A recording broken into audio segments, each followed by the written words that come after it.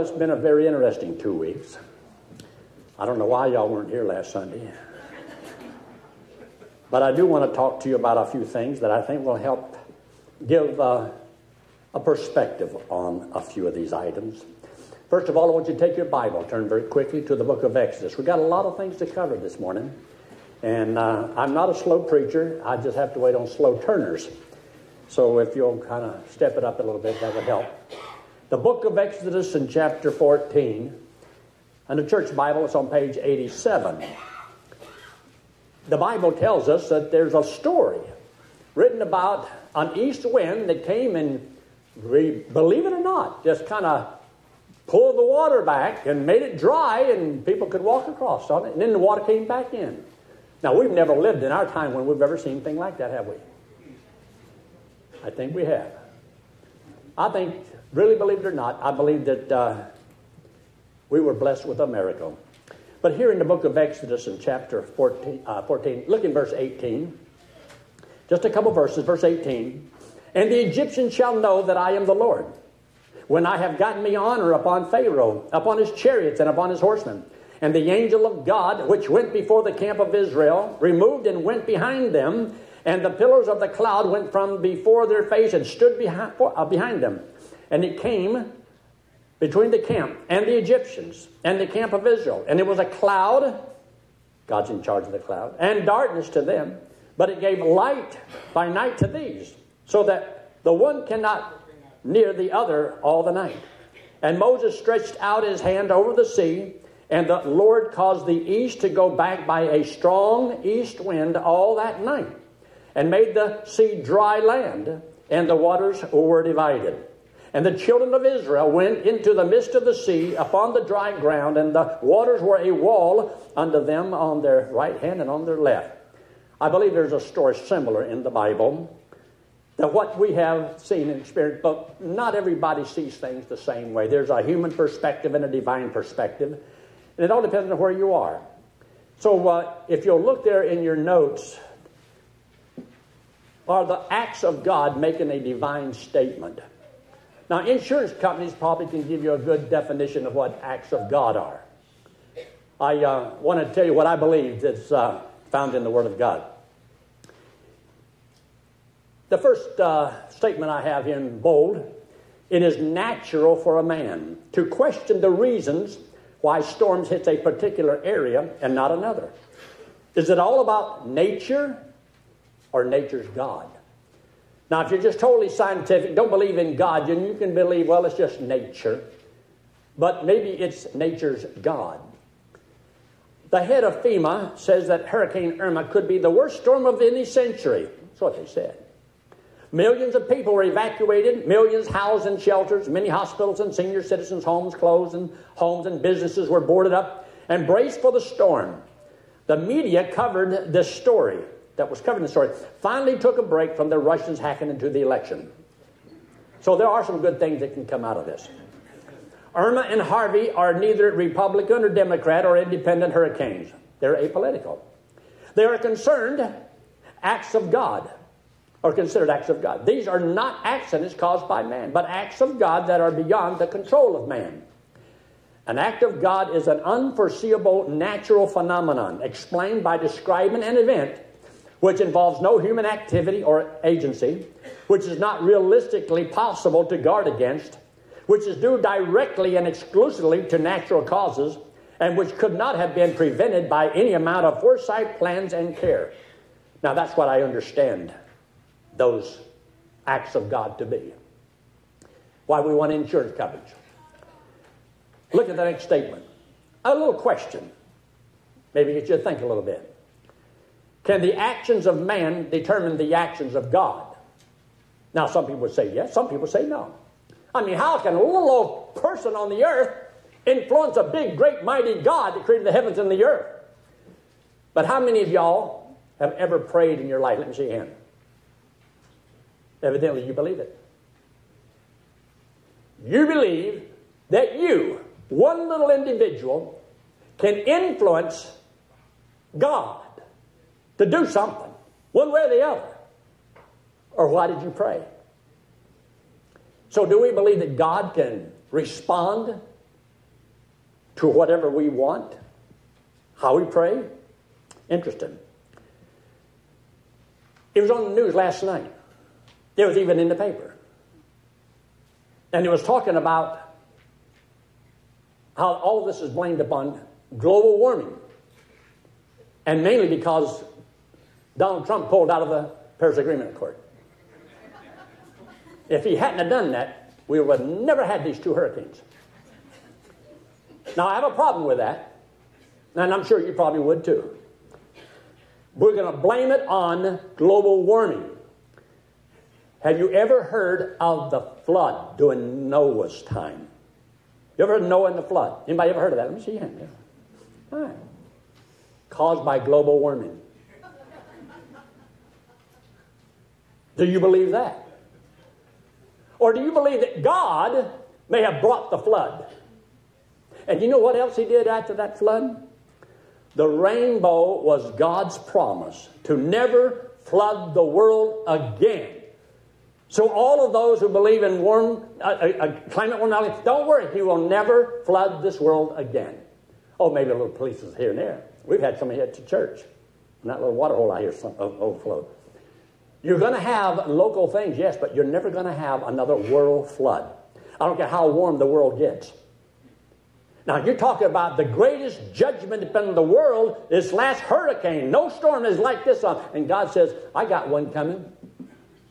It's called the Great Tribulation Period. You can see anything like it yet. He says, There's never been a time like it before, there'll never be a time like it afterwards. And you're talking about climate change, hailstones of 120 pounds, heat that's going to burn your skin.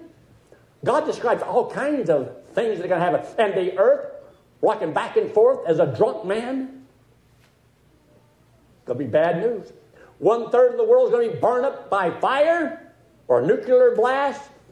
You see, we're living in very interesting and exciting times.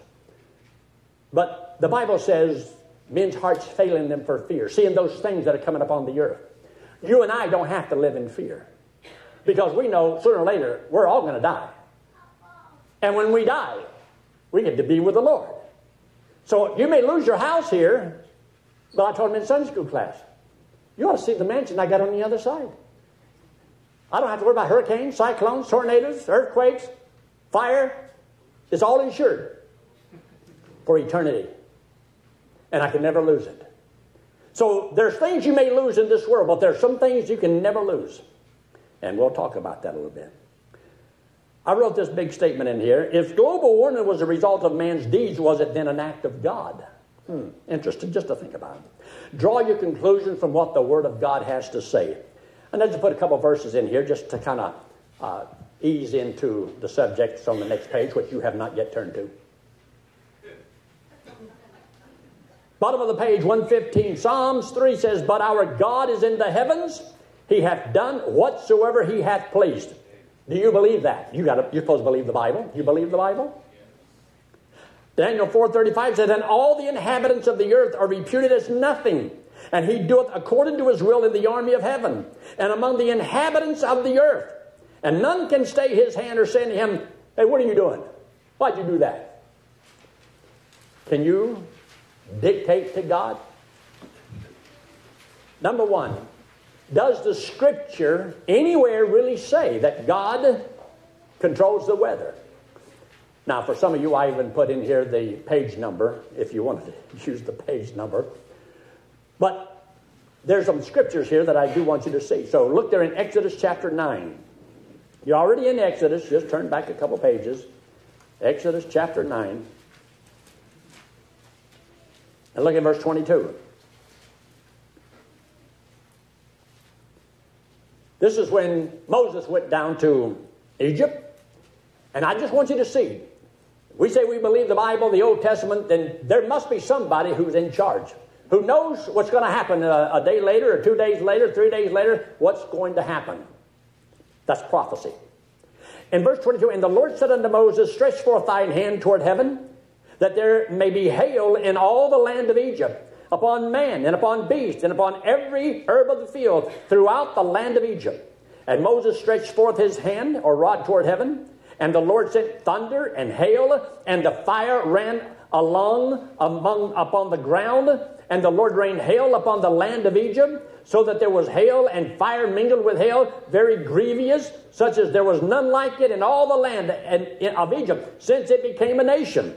And the hail smote thereof throughout all the land of Egypt, all that was in the field, both man and beast, and the hail smote every herb of the field and brake every tree of the field. Only in the land of Goshen, where the children of Israel were, there was no hail. You think there's a reason? God was doing something. God was saying something. Can the acts of God be a divine awareness? In verse 27, and Moses or Pharaoh sent, called for Moses and Aaron and said unto them, I have sinned this time. Now, he did the other times too. The Lord is righteous, and I and my people are wicked. Do you think how people lived had anything to do with what was happening? When you read the scriptures, just draw your conclusion from what the Bible says. Or, whatever will be, will be, and there's nobody in charge up there. I mean, God may have created the earth, but he took a vacation. He don't even know what's going on. You know, after all, you, you see how big heavens are? I mean, he's busy.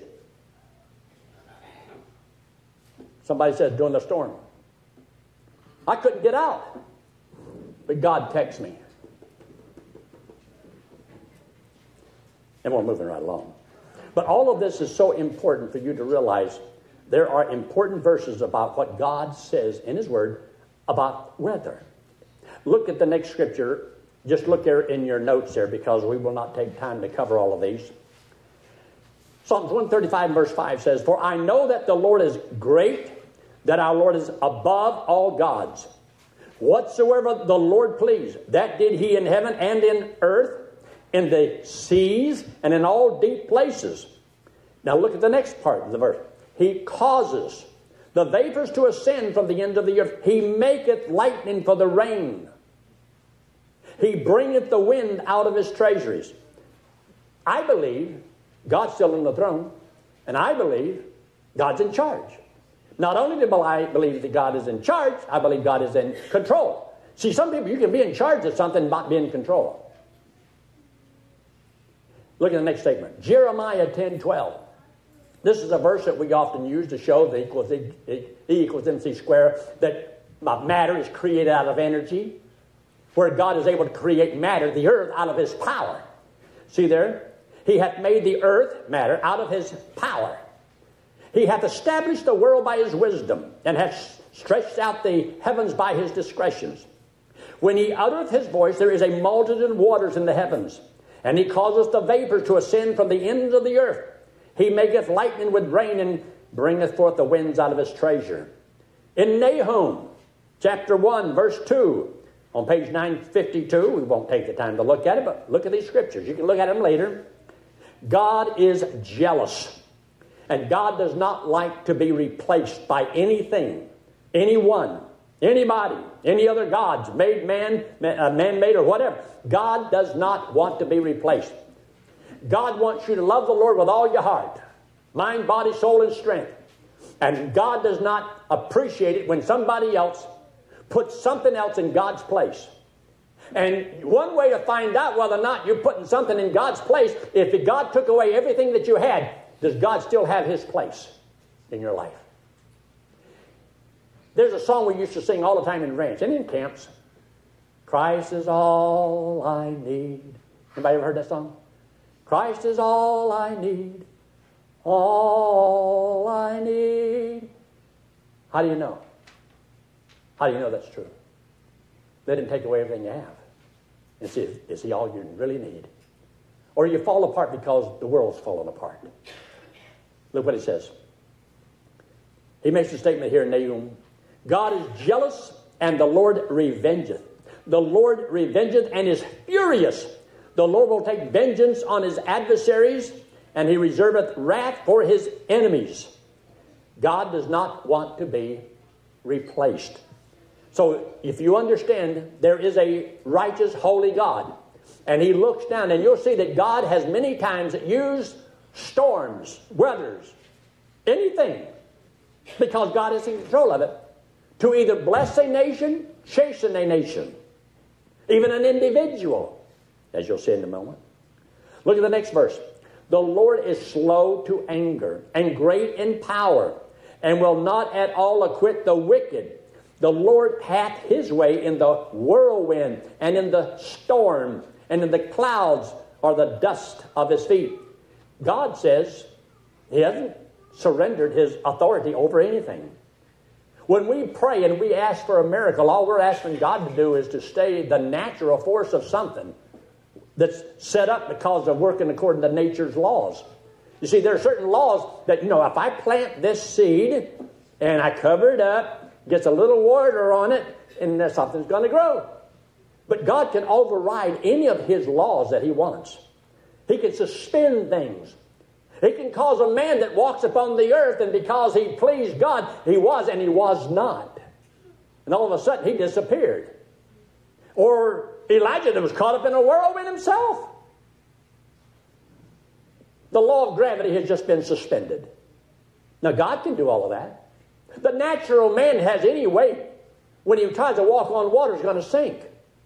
But God, he can suspend that. And he can walk on the water. You try it.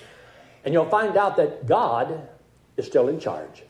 And God says the storms, the earthquakes, all these things are to show the power, the wonderful works of God. It's not just the stars in the heavens and so forth, and the sun and the moon, and in the earth itself. It's the things that happens because many scriptures refers to the storms that reveal the power of God. Because it's power you and I can't control. Doesn't mean it's out of control. But what else he says? Verse 5 The mountains quake, and the hills melt. The earth is burned at his presence, yea, the world and all that dwell therein. If you read and study the Bible, you'll find out that God is in charge. We may not agree with all the things God does. But God doesn't have to always give us an explanation. I used an illustration with the college kids the other day. If I was to say, um, Trina, go up there and close that window. And she says, Why? A natural teenage response. Because I said so. No. Why? Because there's a hurricane coming and the window's open, it's going to flood everything in your room. Oh. She needed a reason. Now, Daddy may give her an explanation, but God may let things happen in your life and not tell you why. But it doesn't mean that God does not have a justifiable reason for what He does. Because God is perfect and cannot make mistakes. God is in control.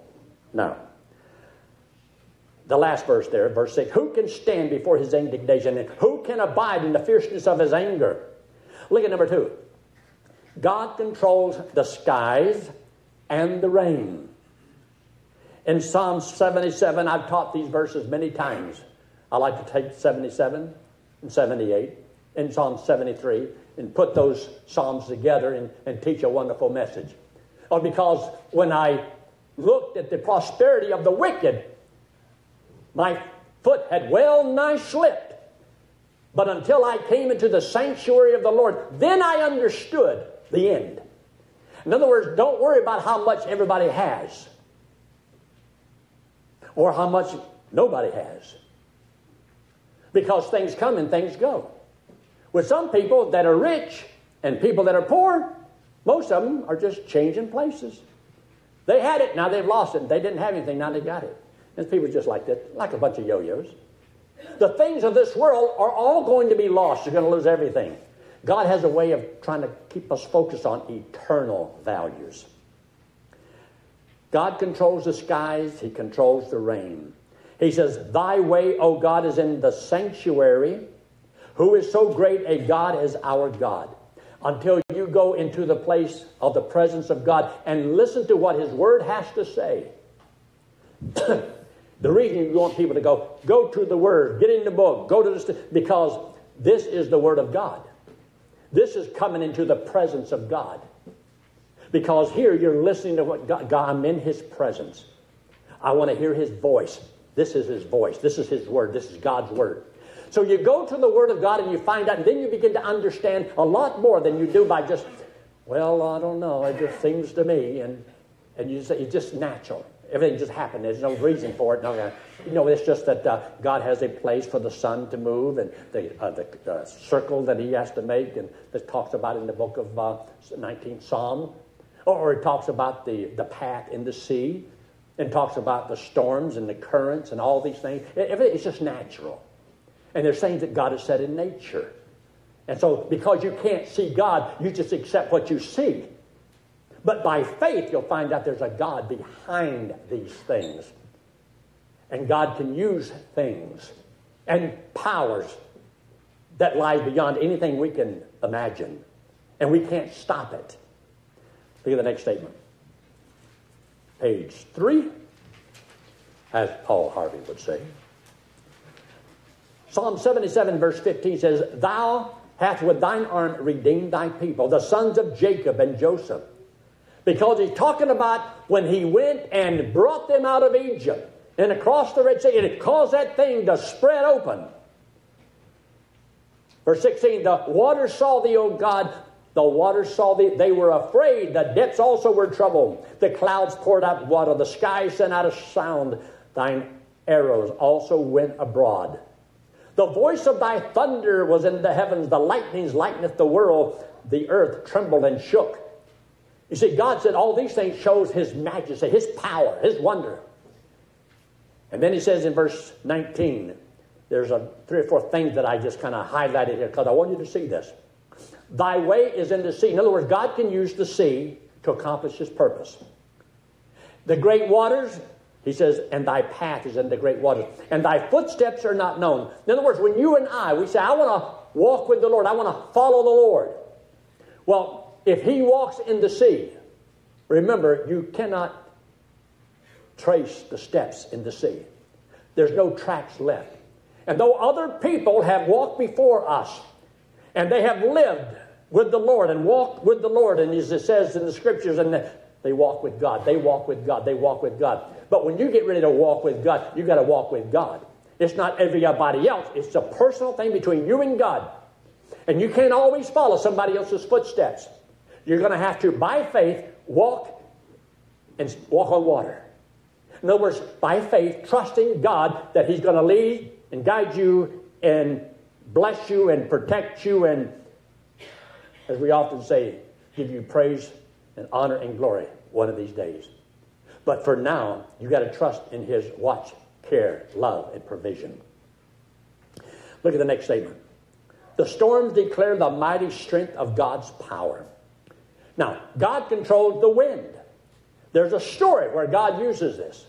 He explains it in Mark chapter 4, verse 37. And there arose a great storm of wind, and the waves beat into the ship, and that it was now full. Now, he had told them to get in the boat and go on the other side, and they did. Did Jesus know about the storm coming? He not only made the storm, he sent the storm. He sent the storm right where they were. Did God know that? And he says here in verse 38 And he was in the hinder part of the ship, asleep on a pillow. They wake him and said unto him, Master, and here's the point carest not that we perish? Do, do you not care whether we live or die? Don't you care about us? When you see a storm of life, maybe you'll question whether God, do you, do you really love me? You could have stopped this. Think about all the people who lost their homes, and yet you may be here and you didn't lose your home and all the people that lost the power. And yet you didn't lose your power. You have electricity. You're enjoying the air condition. This church didn't lose anything. We didn't get one drop of water inside. And God was good to us. God was bad to them.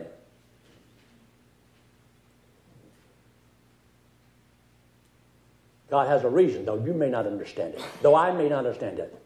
But aren't you glad that no physical life of our people was lost? A lot of things may be lost. A lot of things you don't have to understand. But you're to believe that there is a God, and you're supposed to always thank the Lord and praise the Lord. And what if you only had today what you were thankful to the Lord for yesterday? And God knows how to work in our lives, He knows what every individual needs. And I believe God gives every individual individual care and attention. But look what he says here. In verse 39, and he arose and rebuked the wind and said unto the sea, Peace be still. He can cause it to start and to stop. He says he can. Now, either he can or he can't. But what does the Bible say? And then in verse 40, he said unto them, Why are you so, here on the line that, why are you so fearful? How is it that you have no faith? No faith in what? He had already told them to go to the other side. Evidently, they already knew God had promised them he'd meet them on the other side. And they were supposed to be on the other side. They questioned him. Don't you, we're going to perish. In other words, we're not going to make it. But he'd already given his word. You'd be surprised how God can allow things to happen in your life to see whether do you really trust him with your life? Do you really love him more than you do your house? You say, Yes, I do. Or if he took your house, you still love God, right? You're not bitter at God. You're not mad at God. You're not mad if he takes your home or if he takes your car. What if, what if he took your health? what if he took your wife? What if he took your kids? Do you love the Lord more than anything else in this world? It's always going to be, in everything you have in life, a test of your love. The trial of your faith. Trial of your faith. What do you love? And do you really want God to see how strong you are? I got a few things, and I hope I can get to them in time this morning. Look down at number four. God upholds and sustains the universe. Hebrews chapter 1, verse 3. Who being the brightness of his glory and the express image of his person, and upholding all things by the word of his power. Everything is under God's power. Even the devil can only do what God permits him to do. God doesn't make him do anything. God uses. God does not make you serve him, but God will allow you to serve him. If, if you don't, there may be consequences. God will not make you trust him as your Savior.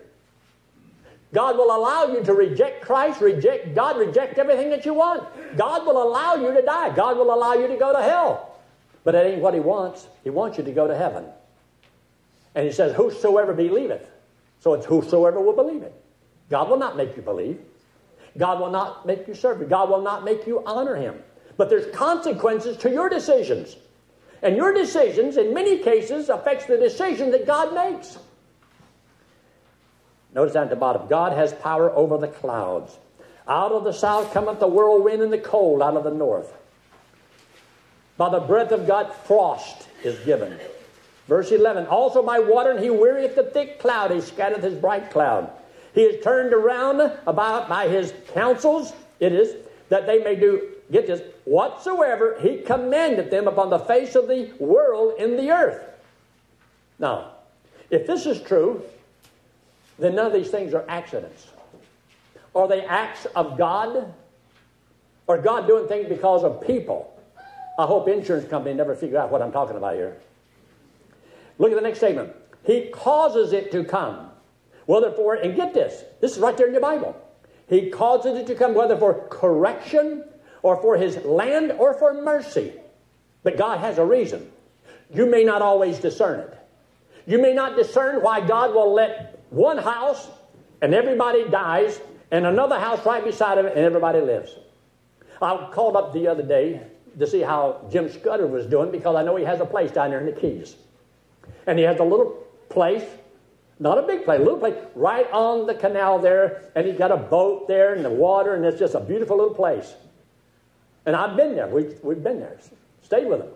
So we, um, I couldn't get a hold of him because his cell phone wasn't working or something. So I called up there and talked to his son.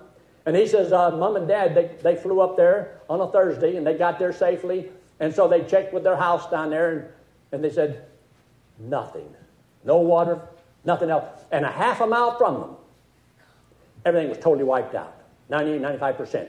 Everything was totally wiped out. And here says Jim Scudder, and his place not touched one iota. Right there on the water, and nothing happened to him. Now, let's just stop and think for a minute. Is it possible that here we had, and all the experts were saying, Irma is coming right for Tampa. And you watched that thing, and you were all watching, and it came right up, and lo and behold, the water was being taken out of the bay.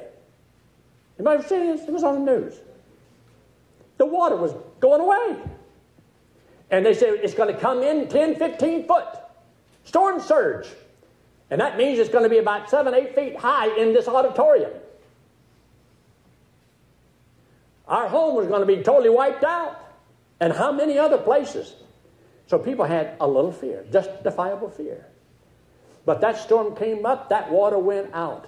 And then when it goes out, then that wind comes back around and the back part catches it and going to pull it in here, and here it comes, a big old wall.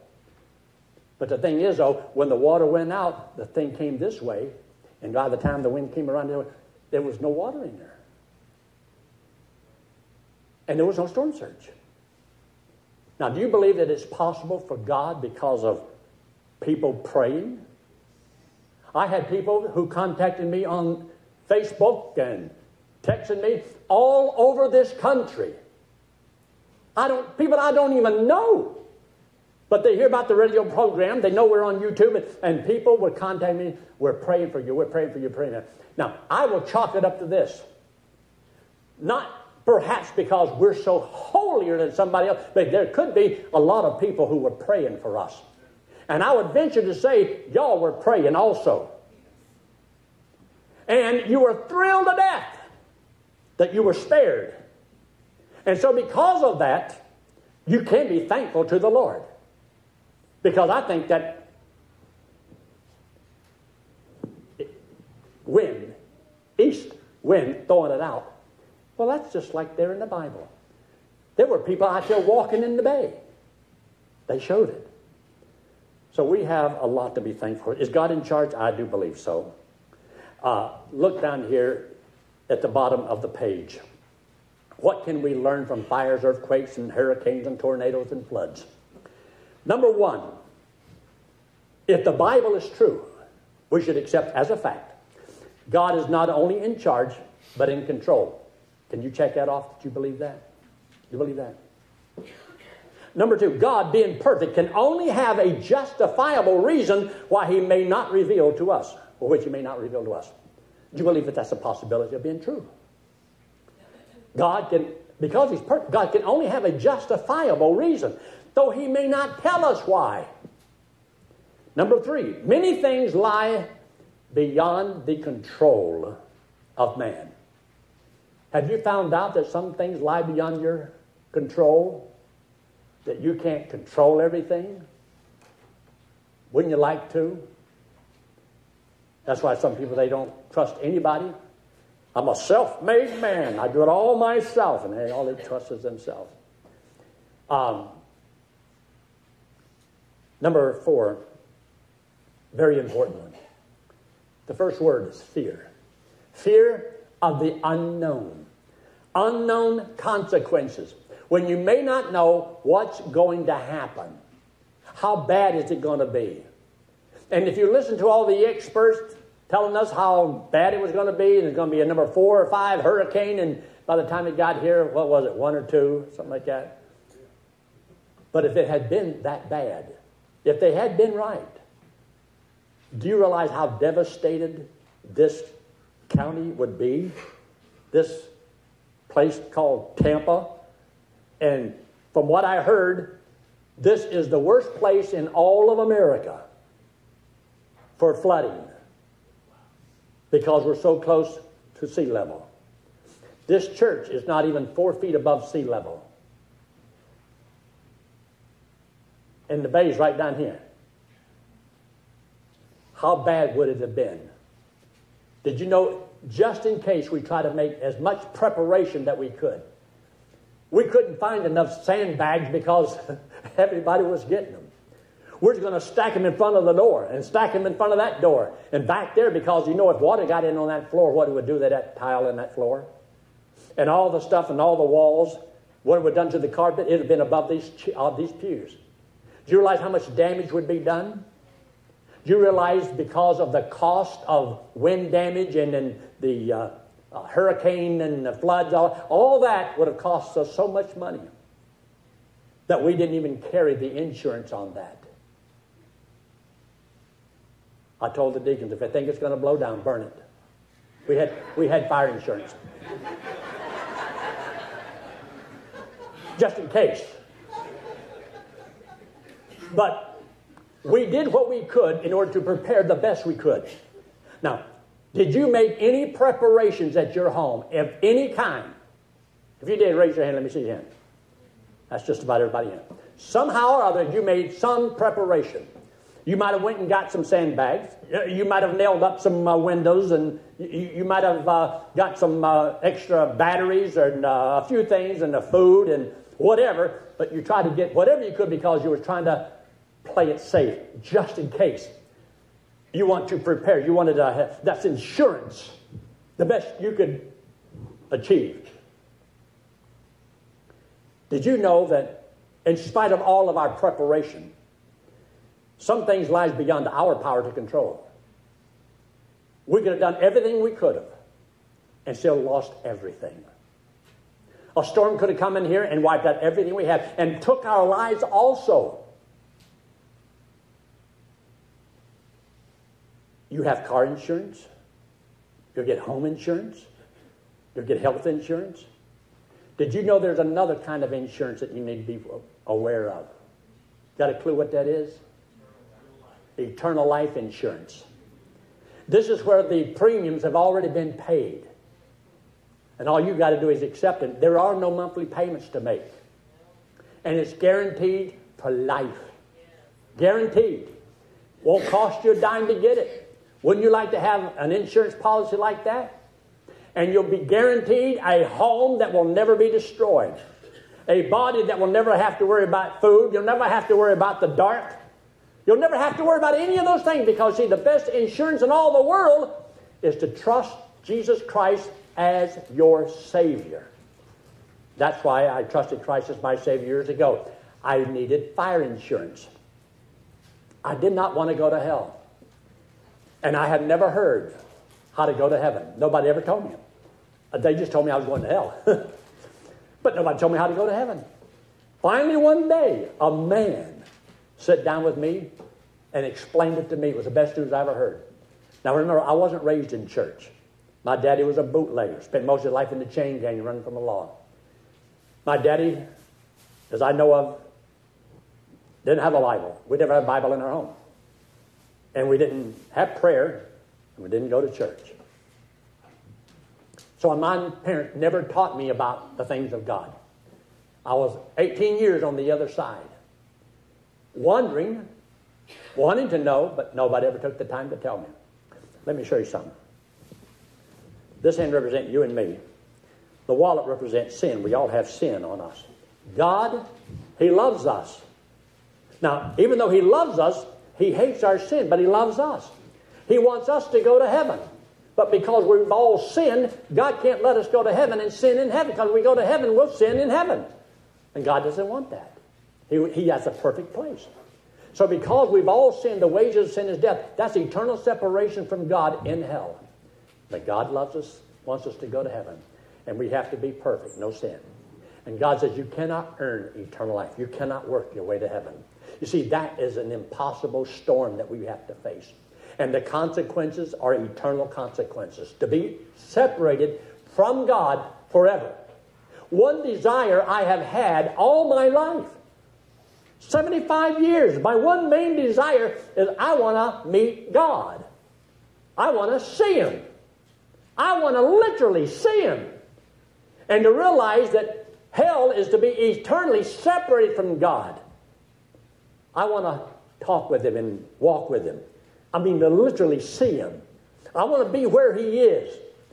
But hell is to be eternally separated from God in a place of eternal fire. This hand representing Jesus Christ. He's God in the face. He came into the world because he loves us, hates our sin, because it separates us from him. See, it separates me from him, separates me this way. Jesus Christ, who had no sin, he didn't have to die. So he took all of our sins. We say we have to pay for it. He took it, he paid for it. And it says, My God, my God, why hast thou forsaken me? He paid for our sins, came back from the dead. And God said, if we'll believe that He did it for us, He would put this payment to our account and we go to heaven on what Jesus Christ did for me. I believed it. I took out this insurance 57 years ago. I've never had to make one payment. I don't have to, oh, I don't owe God anything because it, it was free. All the premiums all paid at one time.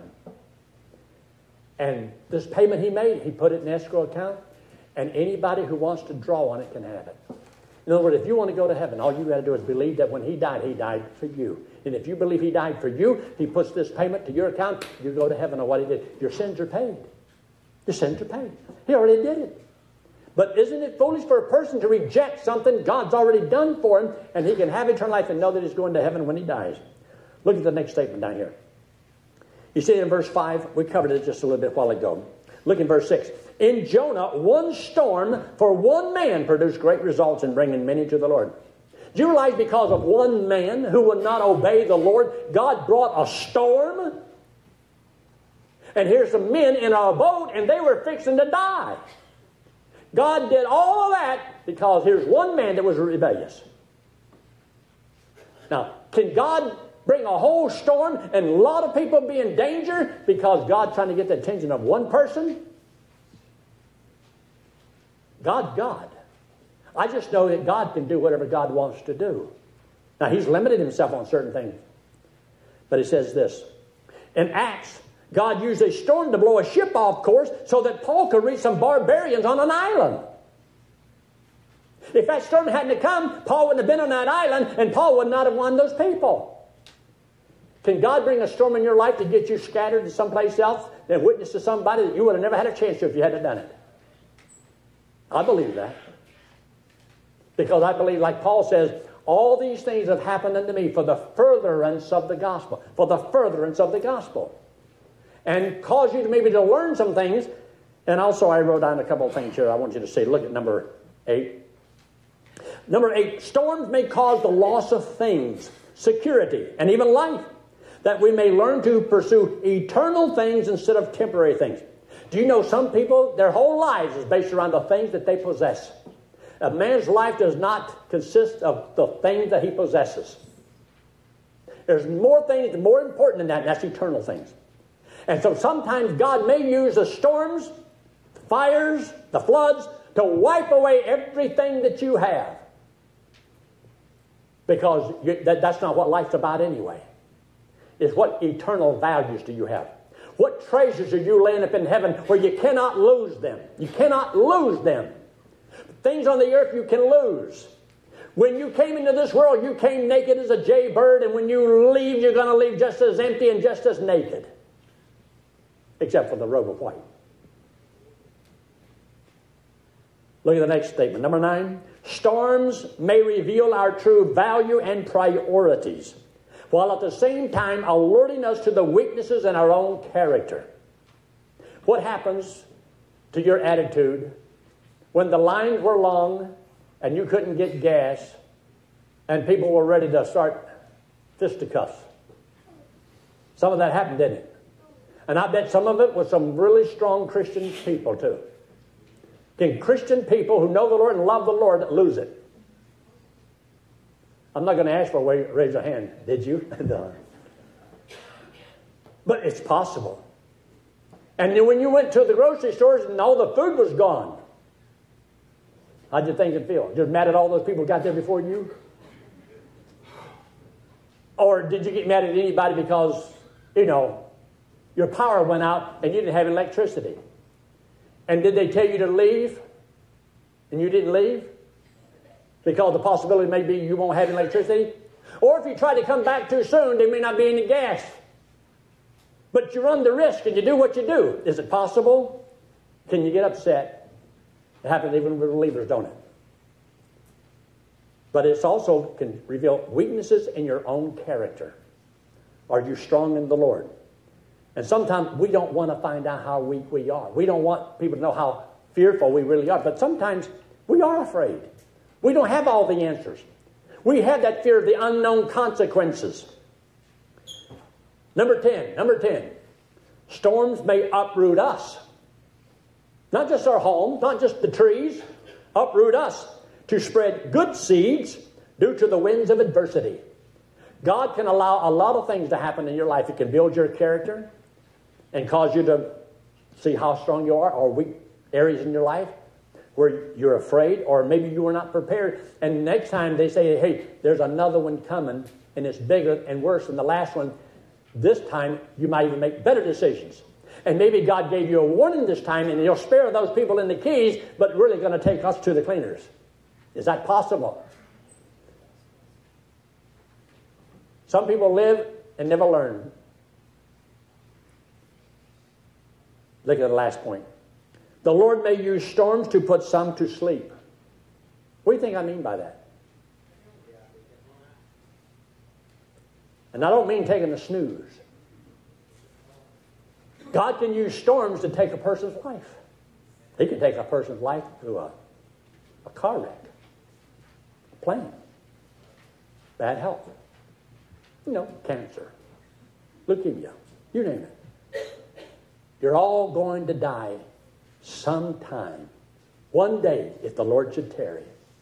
So God can use a storm to take people out of this world, and He also can use a storm to cause people to wake up and realize how quickly life can be snuffed out. And how important, what are your priorities in life? What are you living for? It might cause a person to examine themselves to see what God has for them and, and what are they doing. Because if I was to meet the Lord today, what would he have to say to me? Well done, thou good and faithful servant. Or I'm sorry I had to bring you up here so early. You know how you were really messing up down here. Anyway, hope you enjoyed this little message. I don't know if it'll help you at all, but I don't have all the answers. But I do believe that God is in charge, and God is in control, and God can use the weather to bring people to Him or to chasten people, to teach us all kinds of lessons. Let's pray, shall we? Every head bowed and every eye closed, no one looking around.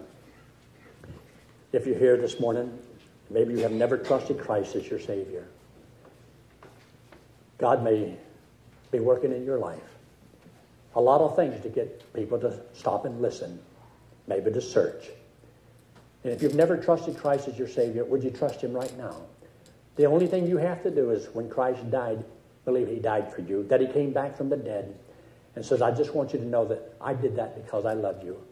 I did that because I paid for your sin, and I don't want you to go to hell. And I just want you to believe I did it for you. And if you'll believe that, God said He would give you as a free gift everlasting life. And He'd never cast you out and never lose you. I pray that you'll trust the Lord. God is powerful. God is real. He hasn't gone to sleep. He hasn't gone to bed. He hasn't gone on a vacation. He's watching. And He cares about you. You are important to Him. If you've never trusted the Lord, would you do it right now? And I'm going to ask you in just a moment to raise your hand. Raising your hand doesn't save you. It just lets me know that what I said made sense to you. You say, Preacher, that made sense to me, and I will trust Christ as my Savior, and I'd like for you to pray for me. Would you just slip it up very quickly, put it right back down? Is anyone at all? Yes, God bless you, sir. Anyone else? Just slip it up, put it right back down. We're not going to pin you against a wall, I'm not going to embarrass you, but right where you're sitting. A man would be a fool to turn down a free gift. And once you trust Christ as Savior, you're God's child, God's child forever. And God can use many things to teach you, to bring you closer to Him. Our Father, we thank you so much for all that you've done for us. Thank you for this individual who, by lifted hand, indicated he's trusting your Savior. That once he trusts you, he never has to do it again because you give him eternal life. And Father, we also praise you and thank you for all the goodness that you've shown to us. That we've seen through storms fires and earthquakes, the mighty power, the wonderful works of God, and how that you can use these things for your honor and for your glory. Father, we may not understand it all, but in no way do we want to diminish the fact that you care about us and that you love us and that you want the best for us and that you have a justifiable reason for everything you allow. And we thank you for it in Christ's name we pray. Amen.